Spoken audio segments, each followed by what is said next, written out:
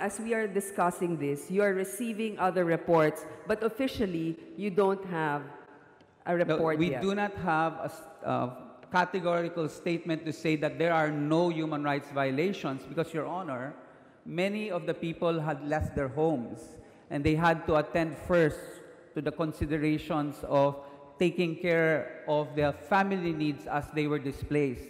But as the time has been coming, Yes. we have been receiving more and more complaints, Your But Honor. a few weeks ago, when that statement was released, you did not have any reports yet. uh, At that time, this was about three, four weeks ago, uh, the regional offices of the CHR had not yet received any formal complaint. But we were already receiving some reports from NGOs, and we were validating the same. In the meantime, we are also coordinating now very closely with our counterpart in ARMM, because we do not have a field office in ARMM, called the Regional Human Rights Commission, and they have also been documenting.